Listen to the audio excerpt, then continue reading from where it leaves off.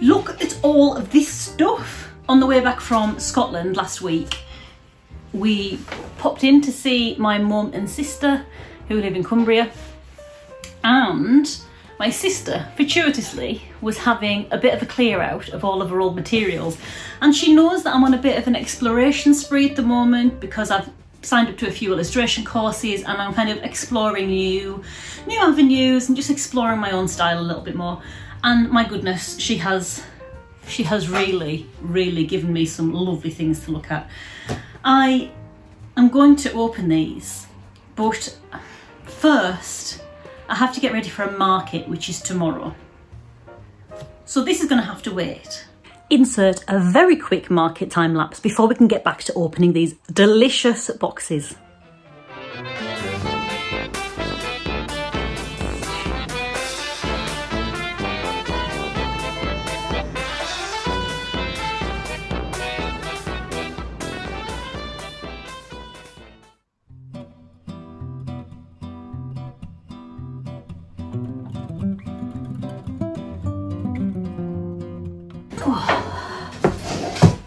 Okay, I think you're wonky. Let me just try and straighten up the wonk a second. Who knows if that's better? But I'm back home. Yesterday was an event and it was a real quiet event and I think I'm probably going to knock that event on the head in the future because it's a lot of effort setting up for a market. If you're interested in market blogs, blogs, vlogs, uh, I'll pop some links to some of my of my market vlogs in the description. But really what you're here to see is me unboxing a box of art supplies from my sister. So let's go. First of all, my sister when she was clearing out had given me these two books. So it's three, 365 days of art and 365 days of drawing. And so far, at a glance, these look like great little plomp, plomps? Prompts. Um, it's too pretty of a book for me to, to fill up, but I might scan pages or, or do do the activities in my own sketchbook. So each each page, it's got a prompt for you to do. So filling in the colour wheel on that one. Uh, number seven, draw the shoes that you're wearing today. Number eight, what's hiding in the reeds. Like something to step you out of your comfort zone. And thereby Lorna Scobie. Um, I will have a look on, if you watched one of my last videos, you'll know that I've signed up to um, an affiliate scheme with Jackson's Art. Now they don't they don't pay me to say any nice things about them. I signed up to the affiliate scheme because I'm really impressed with their range and they have been making real strides with with cutting down their plastic really. So um, I decided to set up with the affiliates program. If any of the things that I've got from my sister are on Jackson's, I'll pop a link down below. So if you're interested in any of the things that you see, if I can link you on Jackson's affiliates, I will link you. And then you'll be helping me if you do click through and buy anything from there. No obligation, no pressure. I'm not being paid to say this and you don't have to do it, you know, whatever. One thing to mention with the affiliate scheme is if it's your first purchase from Jackson's, they do give you 10% off clicking through my link. And if it's not your first um, your first purchase from Jackson's, doesn't cost you anything, you'll be helping me out. So these are by Lorna Scobie and they look quite good for just prompting some sketchbook practice, which is always good. So I'll put those on the floor because I know there's loads of other stuff to look through.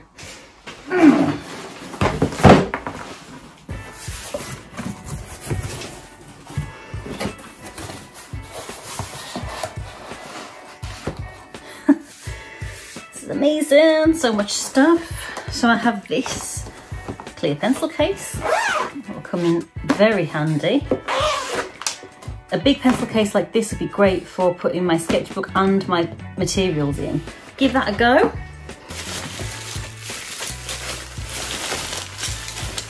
Now these aren't art supplies. These are little door handles which she gave me because she knows I'm crafty and I might have use for them. So this is uh, Cranfield traditional etching inks in bone black. So it's a, it says it's an oil-based etching ink for fine art, intal, I've never heard of this before, intaglio printmaking, made with artist's quality pigments and polymerized linseed oil. Oh, it looks like it's been unopened. I'm gonna have to investigate and find out what to do with that. But yes, that's Cranfield traditional ink. Some fluorescent oil pastels, fluorescent blue and green. And some more Pentels. Deborah, when she said when she got these, she said she got them because they were called XXL pastels. So she thought they were going to be big, chunky things, but it ends up that they are pretty much the same size. I suppose actually when you compare them, they are pretty much chunkier than than these pastels. But yeah, she was expecting them to be big, chunky things, but they weren't. They're not even opened. So I'm gonna have fun experimenting with new materials. So this will be great. All the colours there. Some more oil pastels, Sennelier oil pastels. So it looks like we've got quite a few, quite a few colours. Like a real nice consistency those. Hmm, I'm gonna have fun playing with those I think. I'll have a play with all of these on a like test swatch in a minute just wanted to show you. If you watched my last video, you'll know that I got a few, not my last video, my video before last, I got a few watercolours from Jackson's.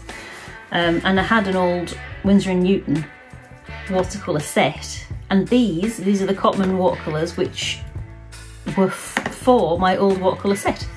Yeah, oh, apart from I didn't have a black one because uh, I normally mix my blacks with burnt umber and uh, indigo And staying on a theme, I can see what I've got here. Ah, I love, I don't, is it just me? I love watercolour sets that, oh, sugar.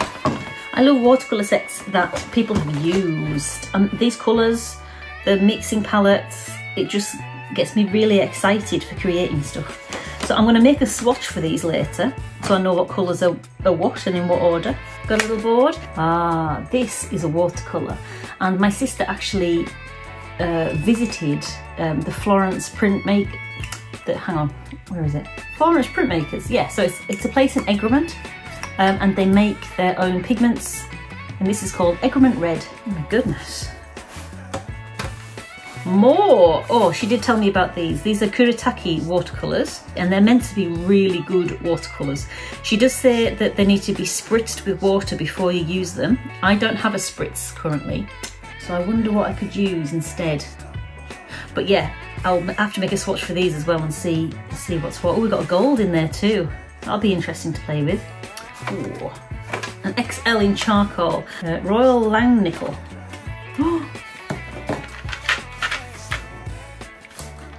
say they are? What are they? They're graphite? Look like graphite. So you've got 4B. Yeah, they're graphite blocks. Lovely. I know what these are, they're charcoal pencils. Yes, classic. I've already got a set of these and I love them. So they will be very well used. Willow charcoal, my favourite kind of charcoal. I've got some paper, so an acrylic pad, like a sheet of uh, acrylic paper. So it's really thick, so you can use thick paints on it. Wow, Deborah really did not enjoy pastels. So she's given me all of her Faber-Castell pastels too. Artist soft pastels. Oh, they're almost chalky. Oh, they are. soft pastels, they're not oil pastels. Wonderful, I love soft pastels. Oh, great.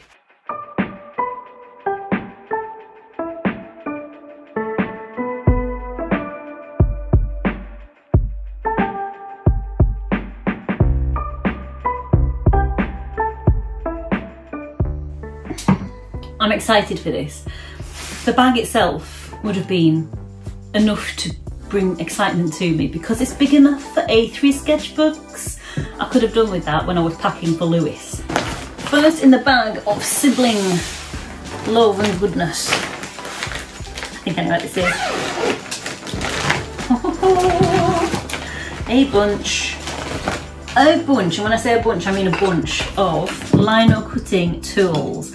I have a couple of lino cutting tools already, but I don't think I've got any of these ones. And a little bag. she's given me her Derwent pencil roll. And she's filled it full of stuff. I know what this is. This I know this will definitely be on the Jackson's website because it is Jackson's own. It's a pencil, uh, what do you call it? A Pencil folio? Basically, she's got stuff in it already. Um, it's basically uh, a big old book where you can store all of your pencils. So if I'm going away on another trip, I can put all my pencils laid out like this rather than having to uh, go through a, a, pencil case or fill up a big pencil case. So I've got so, so many pencils and I've got some fluorescent ones as well.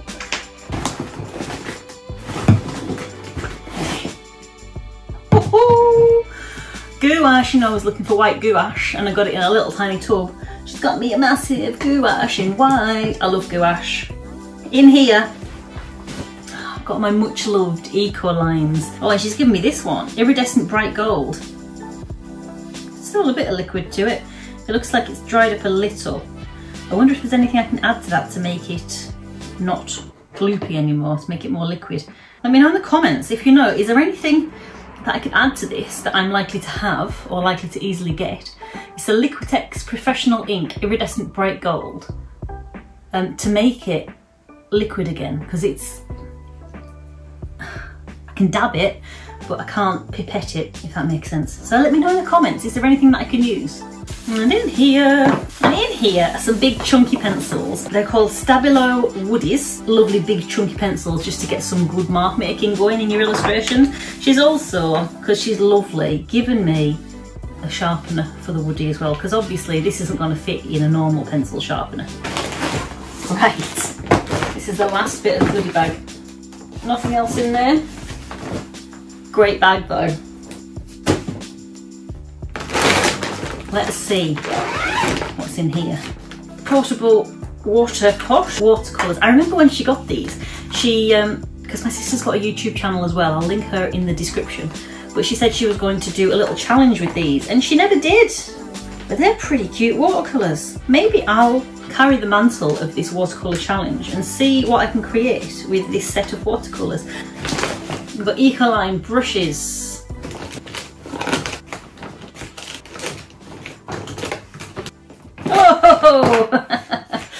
I've got washi tape. Apparently it's a pastel holder. I've got some smudges. Copic markers. I've got some pencil holders. This is a Jackson's lead holder. Got some Posca pens. Highlighter pens. Watercolours in tubes. So I'm going to tidy these away, find some places for them. But I'm going to get a big piece of paper out first and do some swatches.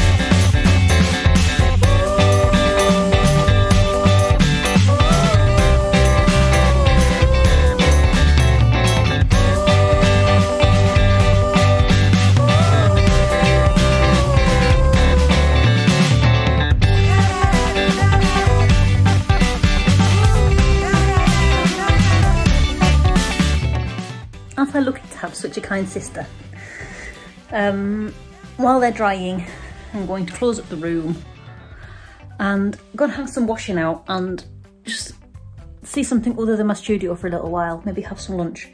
But I'll be back. So you blink and then all of that will be over and you you can just carry on, okay? So blink, and down back. I, before I started filming, sat down and just did 10 minutes of working on um, Jaguar from memory. So I looked at a load of photographs and then um, smash it down onto my big A3 sketch pad um, because I'd like to do a Jaguar illustration. They've been on my mind for a little while. So I thought I'd try that. I've got pastel on my hands. I'm probably going to end up smearing it all over my face. So I want to put this, this away. Um, let's test out this little watercolour set. And then my pastels. I'll get my pastels swatched in this big, in this big thing. Um, and then I think I'm nearly, nearly at the end of testing out all of the materials.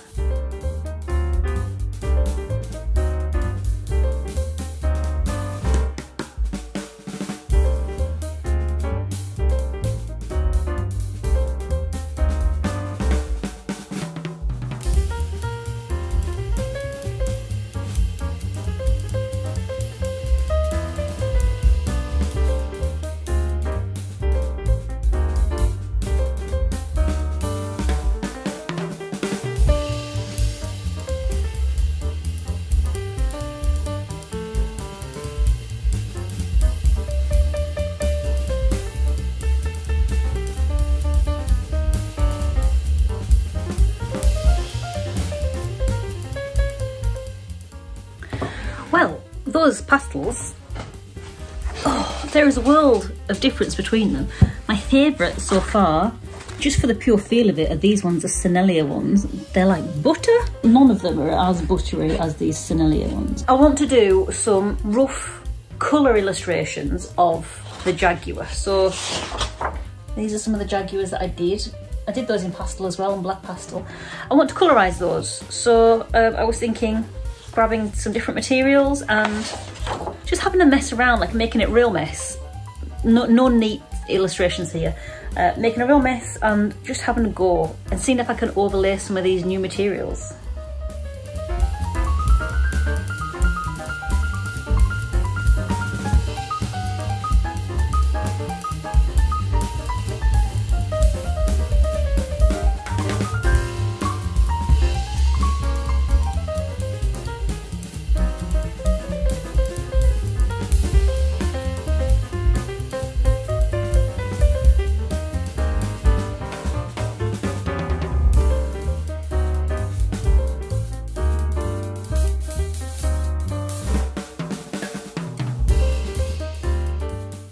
I'm ridiculously pleased with how that turned out.